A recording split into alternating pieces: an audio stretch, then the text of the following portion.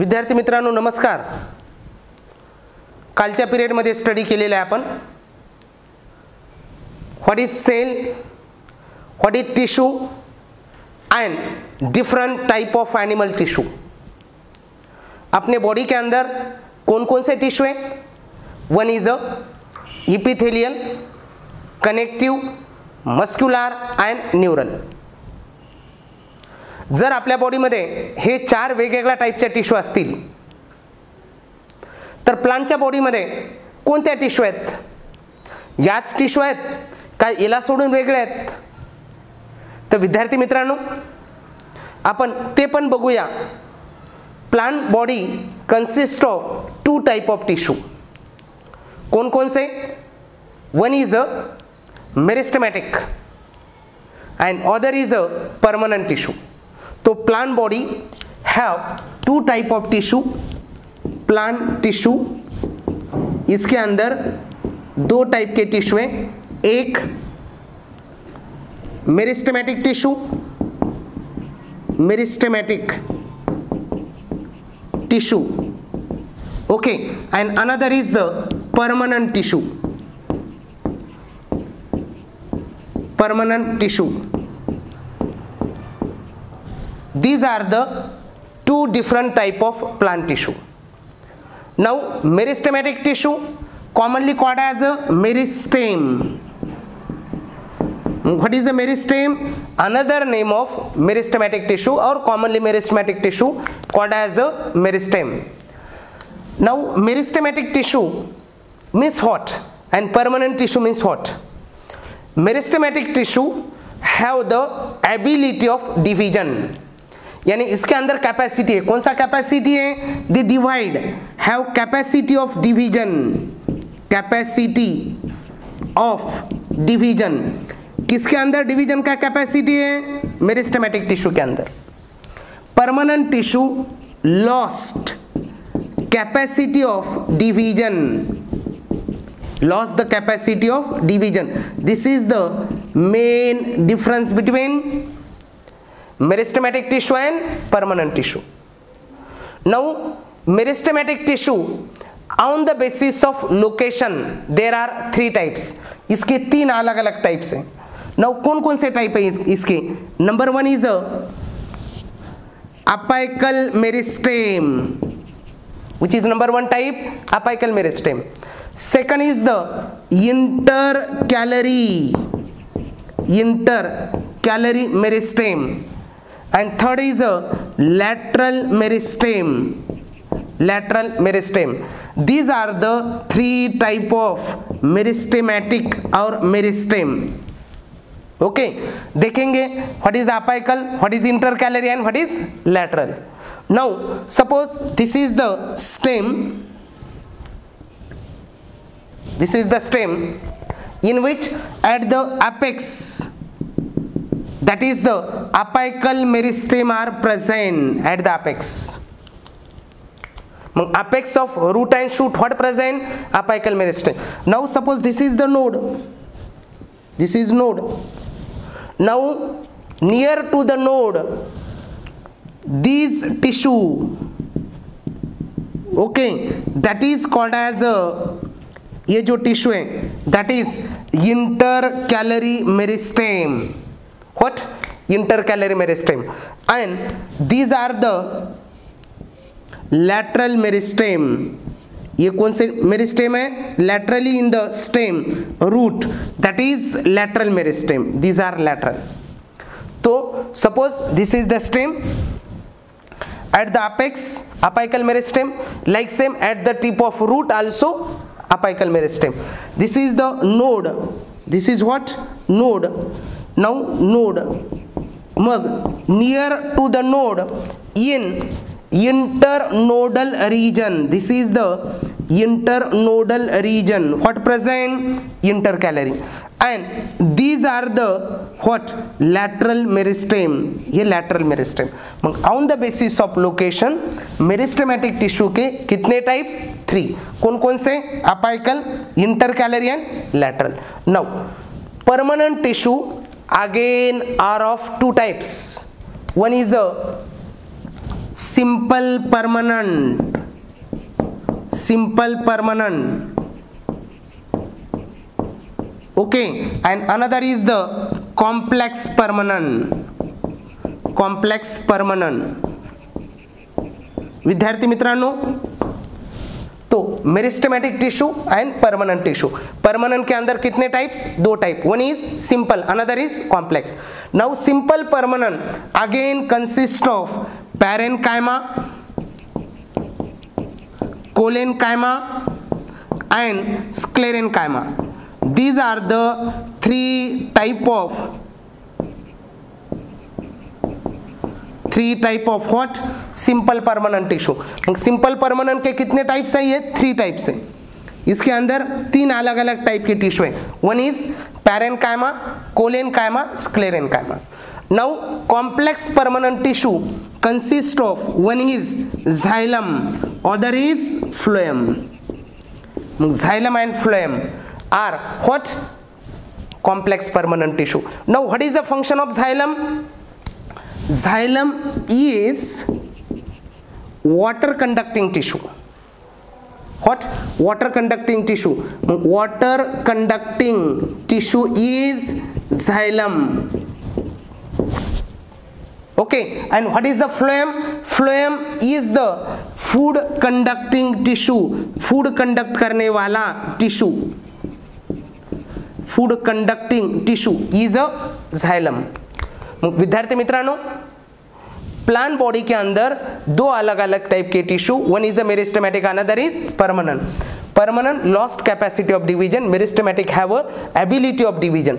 permanent tissue one is a simple another is complex simple के अंदर ये तीन टाइप्स कौन कौन से पैरेन कायमा कोलेन कायमा स्क्लेरन कायमा कॉम्प्लेक्स के अंदर xylem and phloem what is xylem xylem is a water conducting phloem is a food conducting तो animal body and plant body have a different type of tissue वेगवेगळ्या टिश्यू आहेत मग आता ॲनिमल टिश्यू मध्ये आपण पहिल्यांदा स्टडी करू epithelial tissue नऊ काल बघितलं होतं आपण what is a epithelial tissue तर विद्यार्थी मित्रांनो epithelial another name is a epithelium it is the covering or lining tissue of the body covering or lining tissue of the body covering or lining tissue of the body that is nothing but what epithelial tissue epithelial tissue a some characteristics को characteristics है आहेत in the epithelial tissue intercellular space intercellular space is very less और little intercellular space is a little very less intercellular space or sometime may be absent. Now, cells in the epithelial tissue are rest on basement membrane. Rest on basement membrane. Epithelial tissue के cell किसके ऊपर rest है basement membrane के ऊपर now epithelial tissue originated from three germ layer ectoderm mesoderm and endoderm and endoderm these three germ layer पासून epithelial tissues तयार झालेले आहेत epithelial tissue are a that is non means it does not have a, its own blood supply. They take nutrition from blood by diffusion. These are non-vascular. Take nutrition, nutrition by diffusion, nutrition by diffusion from what? Blood. these are originated from ectoderm mesoderm endoderm rest on basement membrane there is a little intercellular space or intercellular space may be absent now what is the intercellular space suppose this is the one cell this is the another cell ही cell याच्यामधला जो space आहे that is the intercellular space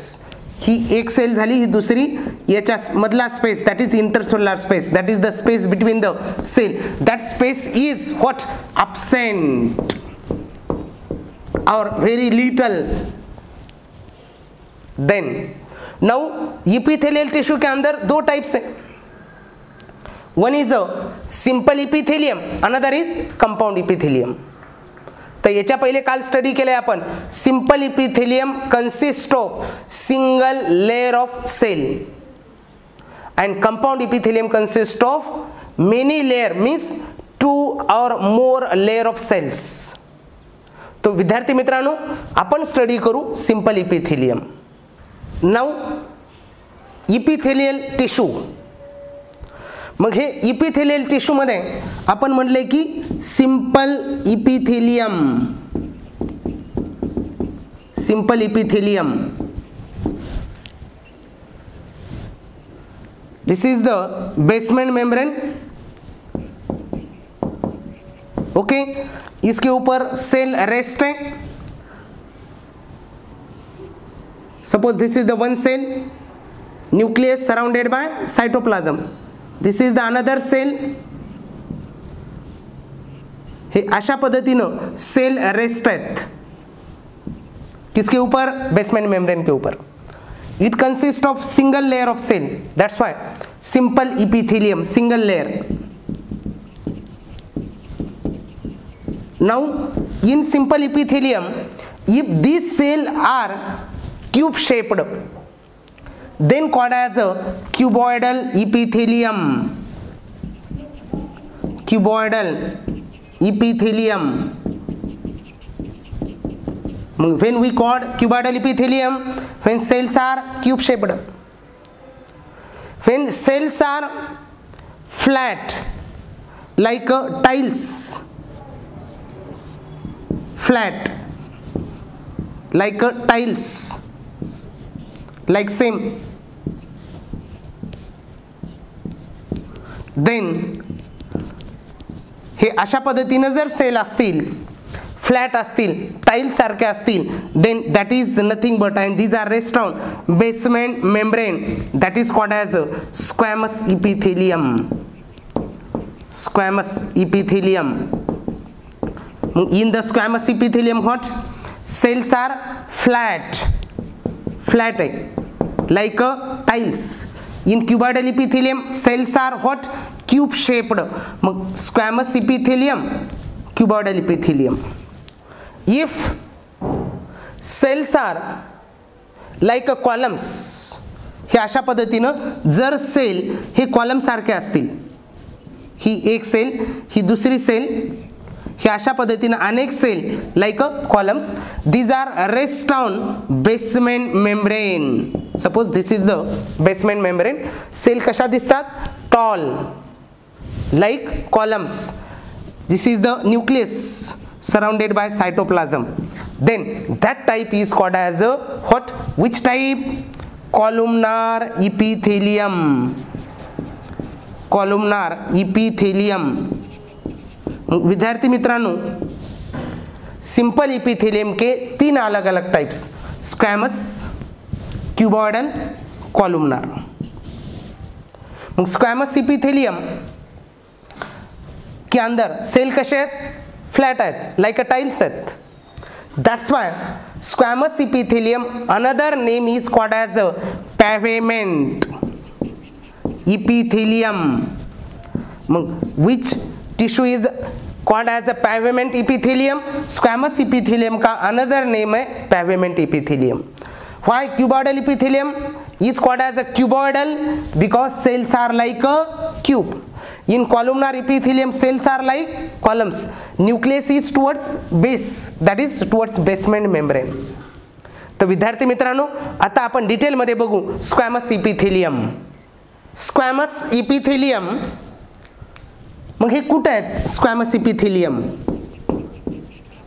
squamous epithelium फेर these are present these are present in the internal lining of blood vessel suppose this is the our blood vessel okay blood vessel का inner lining this is the inner lining of blood vessel that is nothing but endothelium मग endothelium of blood vessel blood vessel have what squamous epithelium now another location alveoli of lungs lungs के अंदर alveoli alveoli of lungs also have squamous epithelium suppose मी म्हटलं this is the one alveoli या alveoli of lungs internally have which epithelium squamous epithelium mug alveoli का क्या function है suppose this is the O two okay now from alveoli o2 diffuse into the blood vessel suppose this is the blood vessel o2 pass from alveoli into blood vessel and CO2 from blood pass into the alveoli yani squamous epithelium mainly involved in the diffusion mainly involved in what diffusion मग विद्यार्थी मित्रांनो नीटमध्ये परीक्षेत question येत असतोय squamous epithelium involved in the process of diffusion कहाँ पे located आहे alveoli of lungs alveoli are the balloon like structure these are also located in inner lining of blood vessel inner lining of blood vessel is called as a endothelium okay मग अशा पद्धतीनं हे कोणत्या epithelium आहेत squamous मग squamous इपिथिलियमधल्या cell कशात like a flat arranged like a tiles centrally located nucleus